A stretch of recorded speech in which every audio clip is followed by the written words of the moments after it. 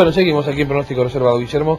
Eh, hay algunos temas de la política que sucedieron a partir de, este movimiento que se generó con, el reto de Kirchner a Scioli, con la posibilidad de que Scioli se distancie del oficialismo. Y la verdad que esta semana hubo algunos gestos que mostraron que la relación no es la misma.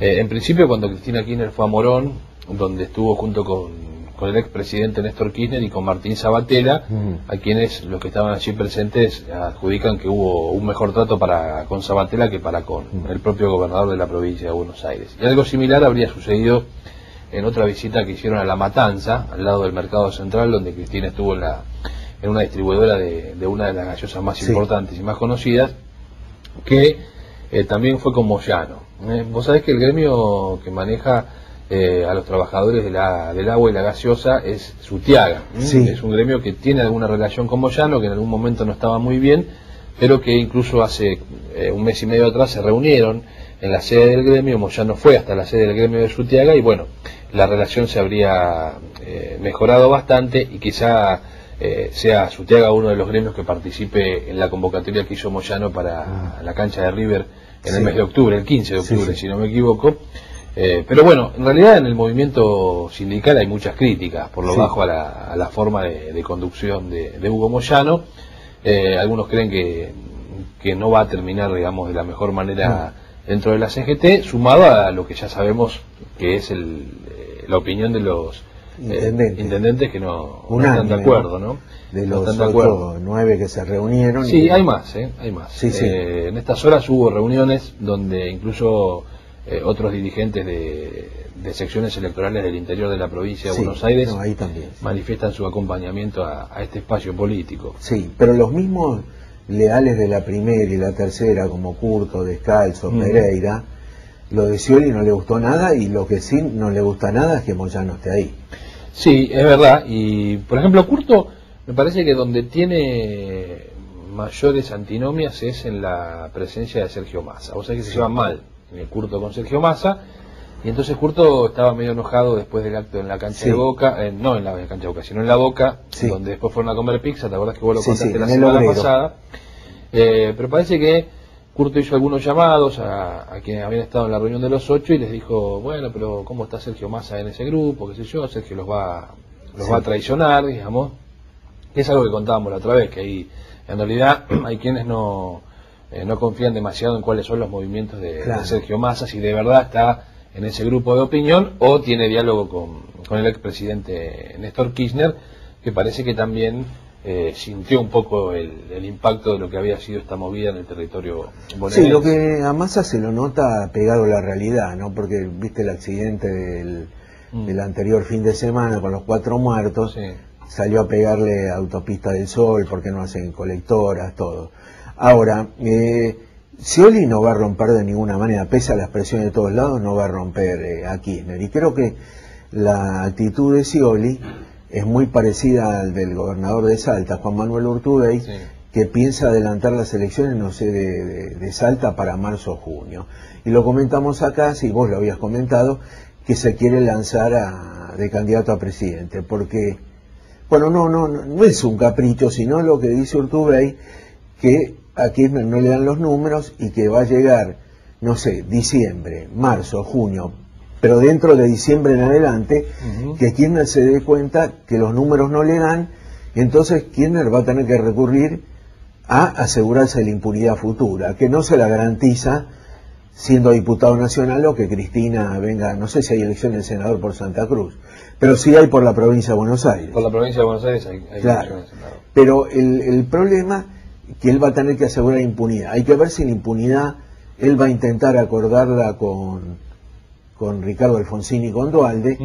Creo que ahí no, no va a tener éxito. Entonces ahí, tanto Urtubey como Scioli están expectantes, se aguantan.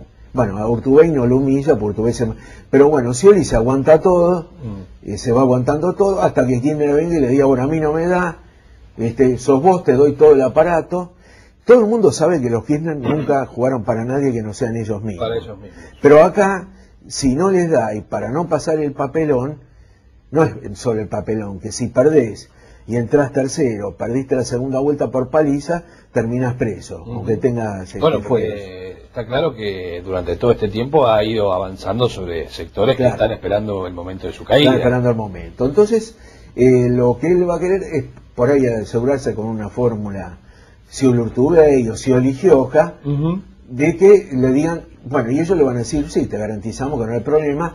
Ahora, lo que pasa es que los jueces, a los cuales federales, de la, con jurisdicción de la capital, que tienen a todos los funcionarios públicos, que Kirchner los tiene apretados con filmaciones y con cosas no santas, este, se larguen a pedirle la cabeza y ahí es difícil que, que lo Scioli sea el presidente o, o Dualde o Urtubey, porque yo ahí de, eh, veo que el que mejor mide, más por el peso de la provincia, que podría ser candidato, pero ya no sería Scioli candidato al Frente para la Victoria, sino una instancia superadora del Frente para la Victoria y del peronismo federal.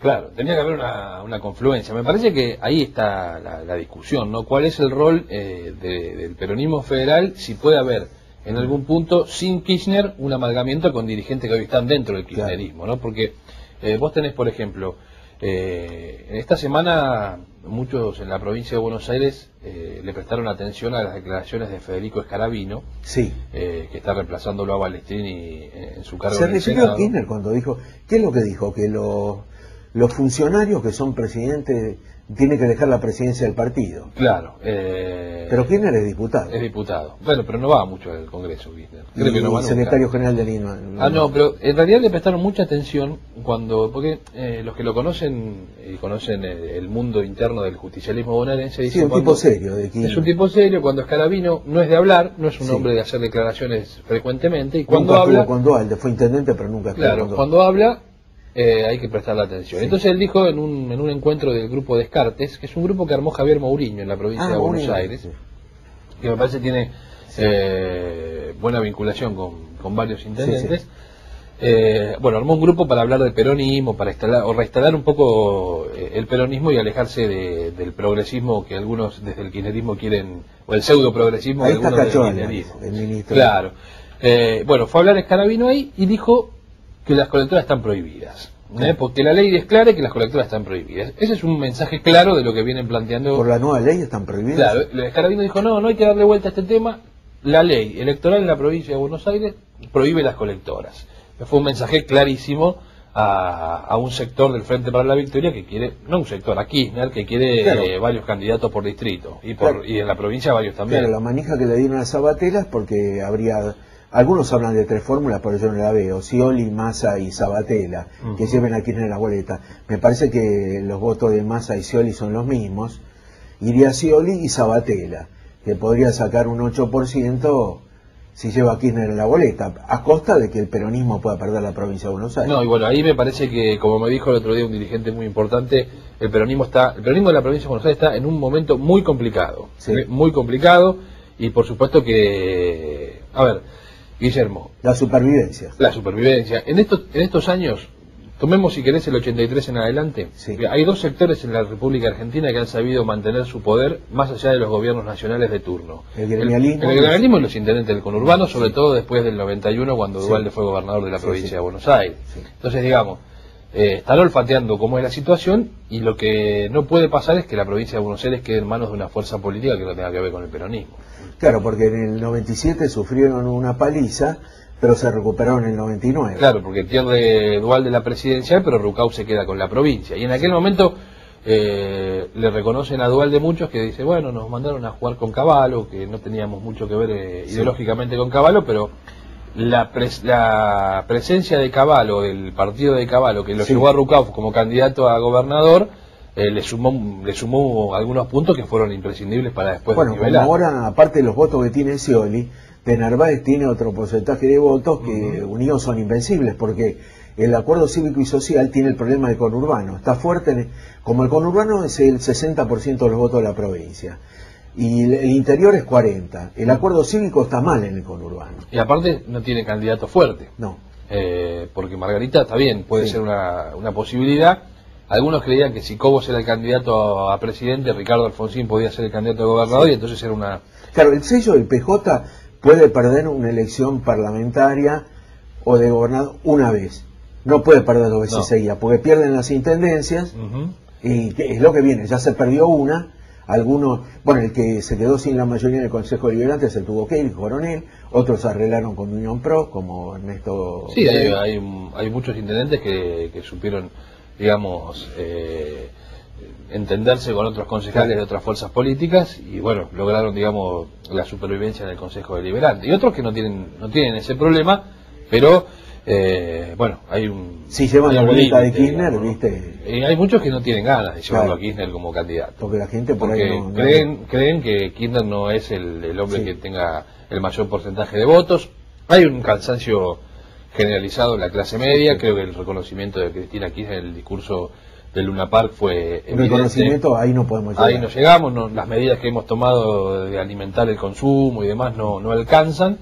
Eh, y la sustentabilidad quizá imaginan que esté en el conurbano en los planes sociales o, en los planes Argentina Trabaja de las famosas cooperativas. Pero vos sabés que también ahí hay bronca. Sí, hay bronca. Porque hay muchos que reciben el plan Argentina Trabaja y no van a trabajar. Otros que van a trabajar igual le piden en muchos casos que dejen un porcentaje de, lo que ganan, que son 1.200 pesos. Y vos sabés que con la inflación hoy, sí, no, no, 1.200 pesos no, alcanza. ni para Pero paradójicamente, me parece a mí, donde muchos creen que el plan Argentina Trabaja reactiva el consumo, mm. También hay una clase media que es la que tiene un comercio, que quizás tiene un poco más de ventas, pero esa venta se licúa con la inflación, con la presión tributaria y además tiene el problema de que la gente no les quiere trabajar. Porque un empleado de comercio en, el, en la provincia de Buenos Aires gana 1.500, 2.000 pesos y entonces le dura poco porque alguien les consigue un plan Argentina Trabaja que por 1.200 no van a trabajar. Entonces se le van de los comercios, van 4 o 5 días, incluso después le mandan una carta de documento, eh, reclamándole haberes. Entonces eso también ha generado eh, un malestar de una clase que no sé cómo va a reaccionar, sumado me parece a los industriales, a los bancarios que, están cansados y me parece que ya dijeron que no. sí, sí, no, no. Tienen otra cosa. No, no, ya es generalizado. Y este y por eso en la provincia de Buenos Aires se ha transformado en, un polvorín eh, que a Kirchner le resulta difícil manejar. ¿no? Es cierto. Te dejo un dato para el final y lo, seguimos seguramente la semana que viene. Eh, yo no descartaría, ¿te acuerdas que alguna vez nosotros dijimos que Dualde eh, lo veía a Macri como una posibilidad dentro del peronismo federal? Después Dualde salió a decir que no, que Macri por su lado, que no iba a poder ser candidato. Bueno, yo no descartaría de que en algún esquema que se esté armando lo tengan en cuenta a Mauricio Macri para un futuro con, el peronismo federal. Sí, sí, porque la creo que ya tiene el nombre y todo, Frente Unión Pro. El problema es que Dualde dice hacer una gran interna donde vayan los candidatos al peronismo federal y Macri. Si Macri mide muy bien, como dicen las encuestas, no debería tener problema. No debería tener problema. Bueno, nos estamos despidiendo. ¿eh? Nos reencontramos la próxima semana. Gracias por habernos acompañado y volvemos Dios mediante el próximo sábado aquí en América 24. Chao.